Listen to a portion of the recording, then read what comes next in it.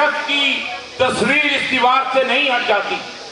जब तक के इनके वोट यहाँ से नहीं हटा दिए जाते, और किसी शख्स ने नेकी करके ये मेरा एजाज अपने जुम्मे ले लिया, और ये शख्स यहाँ से ऐसे गायब हुआ जैसे तारीख के कब्रस्तान में तवायफ के आँसू दफन हो जाते। और ये पाकिस्तान को मुर्दाबाद कहता है, पाकिस्तान तारीख की झील के में एक कवल की तरह हमेशा तरोताजा रहेगा। पाकिस्तान जमाने के आसमान पर एक चमकते हुए सितारे की तरह चमकता रहेगा। इल्ताफ हुसैन का, उसके हवारियों का नामो निशान नहीं होगा, लेकिन पाकिस्तान तारीख के नक्शे पर फिर भी कायम रहेगा। और अहमद फराज ने बहुत खूबसूरत बातें की हैं। वो कहता है कि मैं, ए मेरी अर्ज़ वतन, फिर तेरी दहलीज पे मैं यूँ नगू सार खड़ा हूँ, कोई मुजरम जैसे आँख बेइश्क है, बरसे हुए बादल की तरह, जहन बेरंग है, उजड़ा हुआ मौसम जैसे सांस लेते हुए इस तरह लड़क जाता हूँ, अपने ही जुल्म से काँप उठता है जालम जैसे।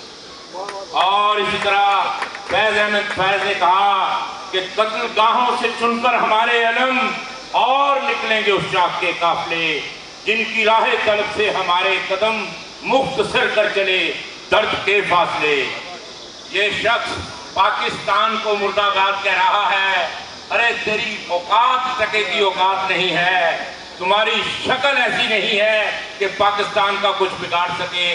तुम शराब के नशे में जहनी बीमारी का शिकार होकर पता नहीं क्या क्या ऊल फूल बकते रहते हो। और सवाए चंद मुहबे ऐसे लोगों के जो तुमसे डरते हैं, जो अपनी इज़्ज़त से डरते हैं, जिनके बाल बच्चे कराची में हैं। एक भी जी शोर पाकिस्तानी मुहब वतन पाकिस्तानी, इसके साथ इसका नारे में साथ देने के लिए तैयार नहीं है।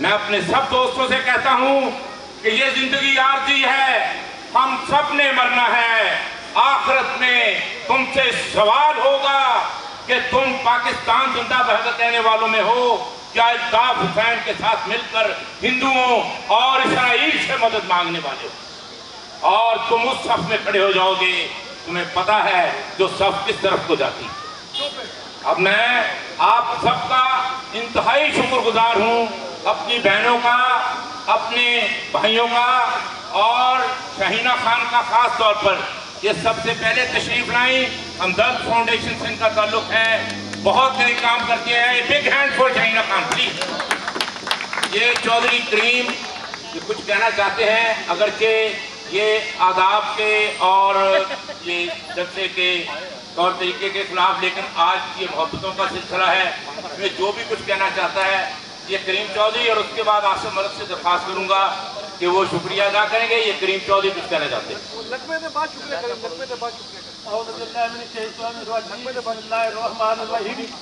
मेरे अज़ीज़ हम आपका जोशो जज्बा इस बात की गमाती है कि आप लोग पाकिस्तान से कितनी मोहब्बत करते हैं। लेकिन मैं सैन उसके हवालियों को बता देना चाहता हूँ कि ये पाकिस्तानी अपनी जान से भी ज़्यादा पाकिस्तान से मोहब्बत करते हैं। तो पाकिस्तान के खिलाफ गंदी जबान इस्तेमाल करने वाले की जबान हम किसी से निकाल देंगे। और मैं एक दफ़ा फिर कहता हूँ, जब मोदी का यार है सरकार है तो उसके हवाली सुन लें कि हम आपको आपसे एक एक जुल्म का बदला लेंगे, जो आपने हमारे मुल्क में किया। और हमारे मुल्क के खिलाफ बोलने वाले द्वारा सुन लें हम आपको इस मुल्क में इस तरह रहने नहीं देंगे अगर आपने अगर आप मुल्क में रहना है। तो चैन और सुकून और पाकिस्तानी बन के रहें पाकिस्तान जिंदाबाद। पाकिस्तानियों जिंदाबाद। यहाँ लोगों का शुक्रिया आसम मलिक